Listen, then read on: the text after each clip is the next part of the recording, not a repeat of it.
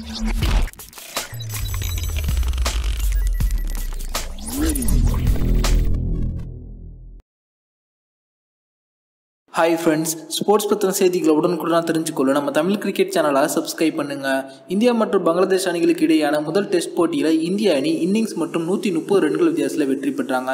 இதில் இந்திய அணி வீரர்கள் பல பேர் சிறப்பான ஆட்டத்தை வெளிப்படுத்தினாங்க. இதன் மூலமாக அவங்க டெஸ்ட் கிரிக்கெட்டுக்கான பேட்ஸ்மேன்கள் பவுலர்கள் மற்றும் ஆல்ரவுண்டர்களுக்கான தரவரிசை பட்டியலில் அதிரடியான முன்னேற்றத்தையும் பெற்றிருக்காங்க. தற்போது ஐசிசி புதிய டெஸ்ட் போட்டிகளுக்கான தரவரிசை பட்டியலை வெளியிட்டிருக்காங்க. அதில் யாரெல்லாம் எந்தெந்த இடத்தை பிடிச்சிருக்காங்க அப்படின்ற பற்றின முழுமையான விவரத்தை பார்ப்போம். response. இந்திய அணியின் பேட்ஸ்மேனான மயங்க் அகர்வால் பார்த்தீங்கன்னா தற்போது இந்திய அணியின் டெஸ்ட் போட்டிக்கு துவக்க வீரராக களமிறங்கி அற்புதமாக ஆட்டத்தை வெளிப்படுத்தி வந்துட்டுருக்காரு இருபத்தி எட்டு வயதான இவர் தற்போது தன்னுடைய முதல் எட்டு டெஸ்ட் போட்டிகளில் மட்டுமே எட்நூத்தி ஐம்பத்தி எட்டு ரன்களை குவிச்சிருக்காரு. அது மட்டும் இல்லாது அறுநூற்றி தொண்ணூற்றி ஓரு புள்ளிகளோடு தற்போது டெஸ்ட் பேட்ஸ்மேன்களுக்கான தரவரிசை பட்டியலில் பதினோராவது இடத்திற்கு முதல் முறையாக முன்னேறியிருக்காரு. இந்த போட்டியில் அரை சதம் அடித்ததன் மூலமாக ஆல்ரவுண்டரான ரவீந்திர ஜடேஜா தற்போது பேட்ஸ்மேன்களுக்கான தரவரிசை பட்டியலையும் முப்பத்தி ஐந்தாவது இடத்தை பிடிச்சிருக்காரு அப்படிங்கிறது குறிப்பிடத்தக்கது. இதில் டாப் டென்னில் பார்த்தீங்கன்னா இந்திய அணியில் மட்டுமே இந்திய அணியின் கேப்டனான விராட் கோலி இரண்டாவது இடத்துலையும் சட்டீஸ்வர் புஜாரா நாலாவது இடத்துலையும் அஜிங்கிய ரஹானே ஐந்தாவது இடத்துலையும் ரோஹித் சர்மா பத்தாவது இடத்துலையும் இருக்காங்க.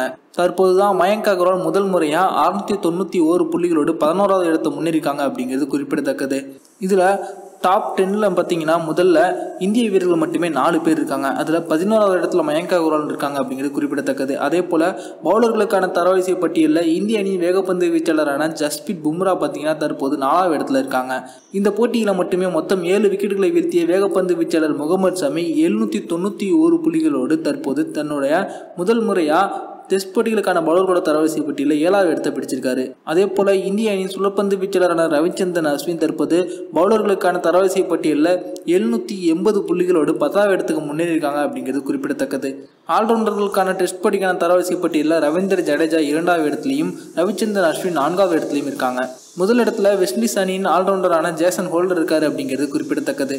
அதே போல் டெஸ்ட் சாம்பியன்ஷிப்புக்கான தரவரிசை பட்டியலில் இந்திய அணி ஆறு போட்டிகளில் விளையாடி ஆறுலையுமே வெற்றி பெற்று முதல் இடத்துல இருக்காங்க அப்படிங்கிறது குறிப்பிடத்தக்கது.